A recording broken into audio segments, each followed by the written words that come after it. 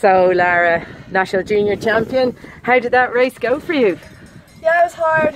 I was tired. They've pushed hard on the hill um, every time, so I knew I had to keep up with that. It was fast. It wasn't like we just waited around. We pushed. And it, tell me, describe the last sprint to the line. There was a little bit of cat and mouse going on. So yeah, we were on our own for the last the whole lap from the hill, so lap and half, and we just were alternating, and then it came to the last hill, and she attacked.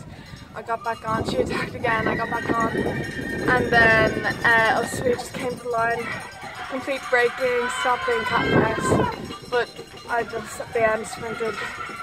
Brilliant. So managed to just pass her, but it was tight. Describe the first couple of laps for me. Um, we had five riders at the start, and then four riders the first whole, the whole lap.